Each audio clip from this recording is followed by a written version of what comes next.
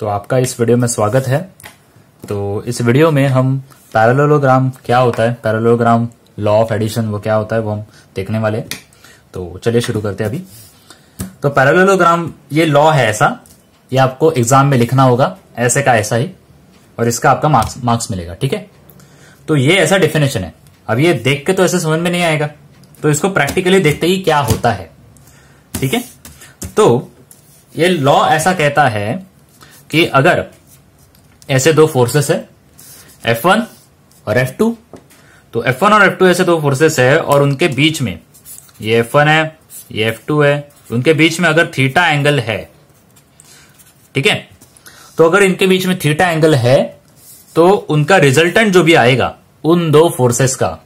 मैंने बताया है इसके पहले वाले वीडियो में कि रिजल्टेंट क्या होता है, वो आप देख लीजिए प्लीज़ तो ये लॉ ऐसा कहता है कि F1 और F2 के बीच में अगर थीटा एंगल होगा तो उनका रिजल्टेंट क्या होने वाला है?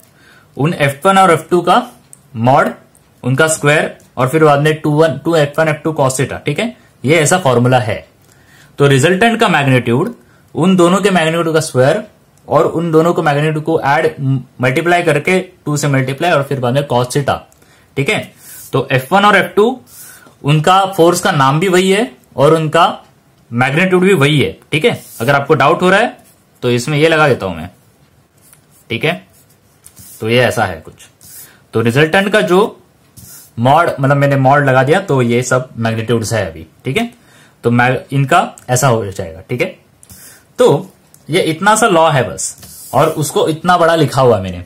तो आपको ये रटना पड़ेगा, आपको समझना पड़ेगा, रट, अगर आप पहले से समझ जाओगे कि भाई ये ऐसा होता है तो आप इसको रट भी सकते हो, ठीक है? तो ठीक है स्टार्टिंग में इतना हो गया। अभी फिर बाद में वो कुछ कुछ एग्जाम्पल्स में हमें ये फाइंड आउट करने बोलता है कि अल्फ़ा फाइंड आउट करो। अभी अल्फ़ा की मतलब क्या है? कि अल्फ़ा वो एंगल है जो रिजल्टेंट और इन दो फोर्सेस में से कोई भी एंगल कोई भी फोर्स होगा, उन दोनों के बीच का एंगल ठीक है? यहाँ पर मैंने अल्फ़ा एंगल को कैसे डिफाइन किया है कि alpha is the angle between F one force और आर ठीक है? तो रिजल्टेंट और एफ़ के बीच में जो भी एंगल होगा, यहाँ पर उसको मैंने अल्फ़ा बोला है। आप इसका उल्टा भी कर सकते हो एफ़ टू ठीक है? यहाँ पर मैं बीटा लगा देता हूँ। कोई प्रॉब्लम नहीं है, ठीक है? तो ये टैन अल्फ़ा अपन कैसे निकाले? मतलब अल्फ़ा की वैल्यू अपन कैसे निकाले? तो tan alpha will be equal to F two sine theta upon F two cos theta plus F one अभी आपको ये रटना रटना पड़ेगा, पर अगर आपको ये रटना नहीं है तो आप इसका डेरिवेशन भी करवा सकते हो। तो डेरिवेशन कुछ इस तरह से है। अगर ये अल्फ़ा एंगल आर और एफ़ के अपन के बीच में है तो उसका डेरिवेशन इस तरह से है कि यहाँ पर देखिए, मैंने ये दोनों फोर्सेस को थोड़ा सा ऐसे टिल्ट करके यहाँ पर ऐसे बनाया हुआ है। ये दोनों फोर्सेस पहले ऐसी थी, फिर उनको उधर टिल्ट किया, ऐसे कर दिया, और आर की वैल्यू ऐसे ऐसे आ गए ठीक है? तो मुझे अल्फ़ा चाहिए। तो अल्फ़ा चाहिए तो आप पहले तो ये ट्रायंगल ए बी सी देख लीजिए, ठीक है? तो ट्रायंगल ए बी सी में आपका ट्रायंगल ए बी सी है ना ये? ठीक है? Triangle A B C okay तो यहाँ पर अपने को एंगल अल्फ़ा चाहिए।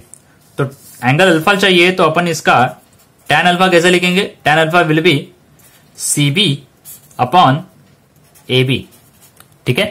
तो tan alpha will be C B upon A B अभी सी बी अपॉन ए है? तो सी बी क्या होगा? सी बी के लिए अपने को कुछ ना कुछ चाहिए। तो सी बी के लिए हमने क्या किया? ये जैसे F2 था ना यहाँ पर तो Ft को जरा सा मैंने सरकाया। मतलब ऐसे पैरेलली उसको सरकाया मैंने और यहाँ पर लेके आया। कैसे किया? F2 ऐसा था।